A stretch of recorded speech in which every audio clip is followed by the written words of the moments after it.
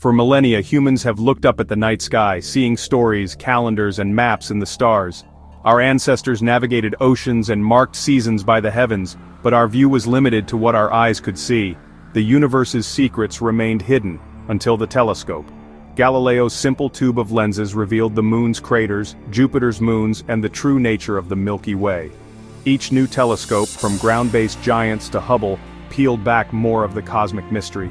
Yet even Hubble left us in the dark, unable to see the universe's earliest light. Much of the cosmos glows in infrared, light invisible to our eyes carrying the stories of the oldest most distant objects. To see the first stars and galaxies, we needed a new kind of eye, the James Webb Space Telescope. JWST is a paradigm shift, not just an upgrade, a golden honeycombed marvel built to see the universe's infancy. It's the result of decades of ingenuity, designed to answer our deepest questions.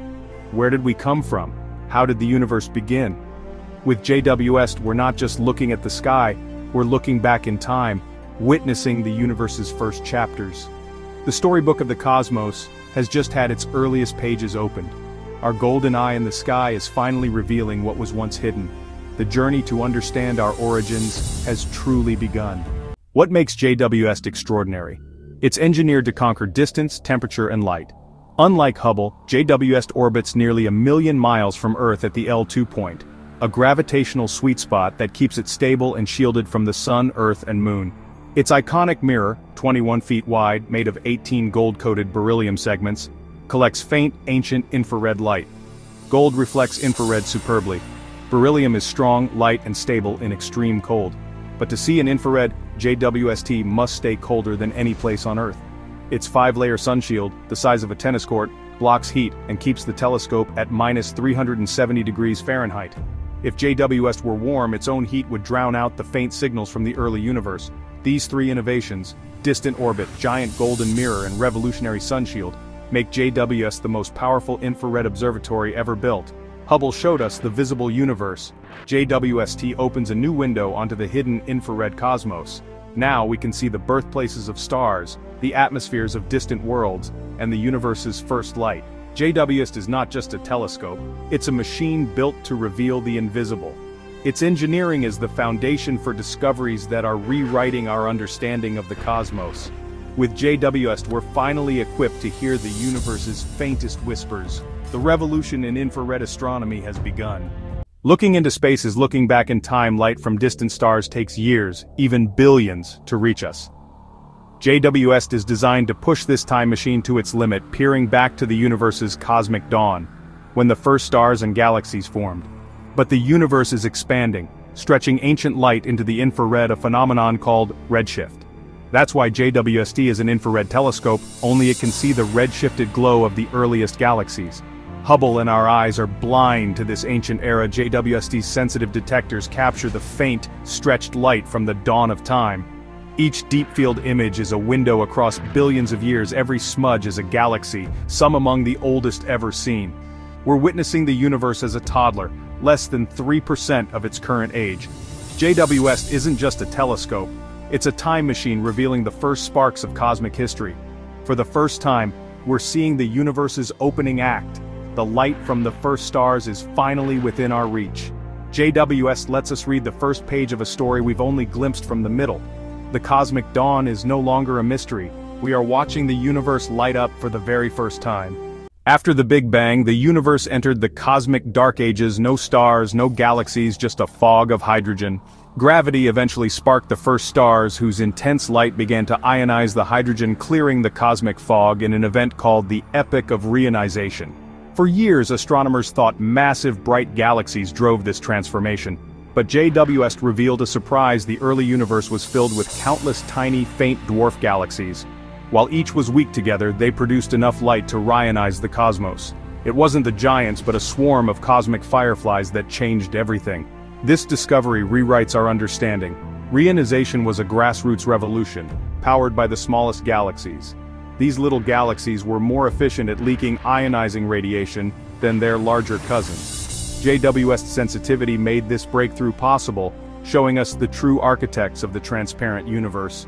The early universe's transformation was a collective effort, not the work of a few. To understand cosmic history we had to look at the smallest players. JWST has given us a new perspective on how light conquered darkness. The universe's grand awakening was led by the little guys. To see the faintest, farthest galaxies, astronomers use a cosmic trick gravitational lensing. Massive galaxy clusters warp spacetime, bending and magnifying light from even more distant galaxies behind them. This natural magnification, predicted by Einstein, lets JWST see objects that would otherwise be invisible. By targeting these clusters, JWST captures both the lensing cluster and the magnified galaxies beyond. This technique has revealed some of the most distant galaxies ever observed, building blocks of everything that followed. Gravitational lensing combined with JWST's infrared vision pushes our view deeper than ever before, we're now glimpsing the universe's first light, once thought forever out of reach. In its infancy the universe was a hot, opaque plasma light couldn't travel freely. As it cooled, atoms formed and the cosmos became transparent but remained dark for millions of years. The first stars and galaxies ended this darkness, their radiation igniting the epoch of reionization. This process carved out transparent bubbles in the hydrogen fog, merging to clear the universe. Before JWST we could only infer this transformation. Now we can observe it directly. JWST has captured galaxies in the act of burning away the cosmic fog, confirming reionization was gradual and patchy. We're witnessing the universe's grand awakening as it steps from darkness into light. For the first time we're reading a chapter of cosmic history that was once blank. JWST has turned inference into observation. The universe's transformation is now visible before our eyes.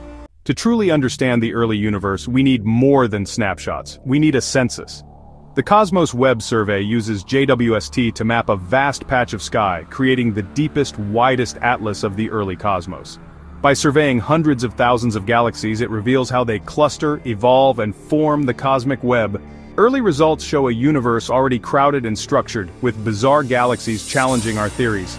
Cosmos Web's data is public, fueling discoveries for years to come. It's the statistical backbone of our cosmic history, turning isolated finds into a coherent story. With Cosmos Web, we're building the definitive atlas of our universe's youth.